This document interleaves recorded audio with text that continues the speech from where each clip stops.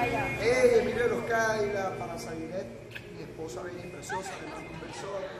Que Dios te bendiga, gracias por apoyarme, mi vida. Más, sabes que yo soy el culpable.